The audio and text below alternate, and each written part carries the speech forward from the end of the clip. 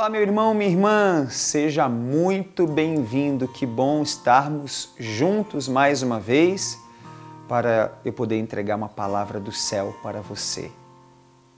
Todas as vezes que você acorda, ou melhor, todas as vezes que Deus te levanta para um novo dia, se levanta também na sua história a chance de um novo tempo.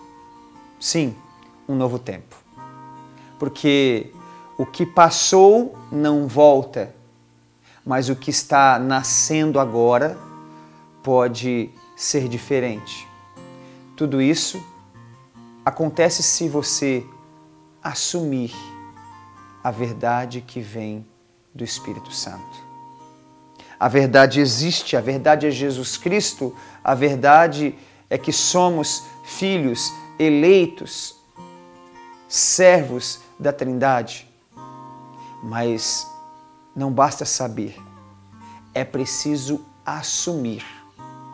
Senhor, nós assumimos o avivamento pessoal necessário para a nossa vida, necessário para a nossa sobrevivência nesse mundanismo que não quer saber de Jesus Cristo, não quer obedecer seus mandamentos. Meu irmão, minha irmã, se você assume a verdade, a verdade assume a tua vida.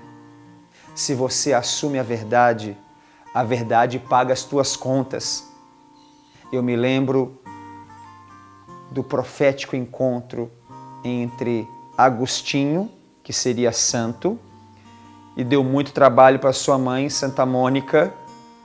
Ô oh, homem que deu trabalho. Você conhece alguém que dá trabalho para o espírito, para sua mãe, para o seu pai? então, quando se assume a verdade, tudo muda.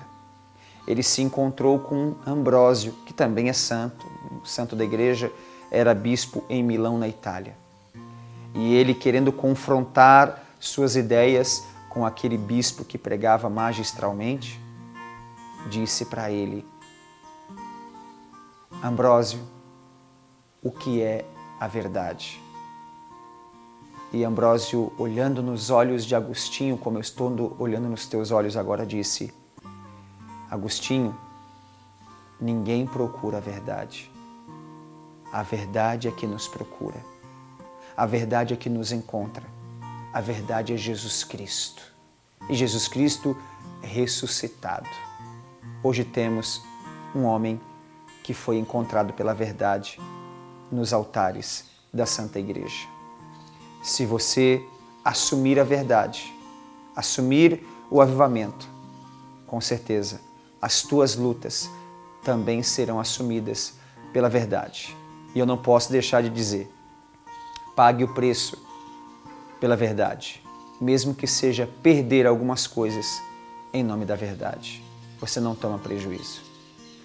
Deus te abençoe, muita paz, muita bênção, muita unção e até amanhã com mais um do céu para você.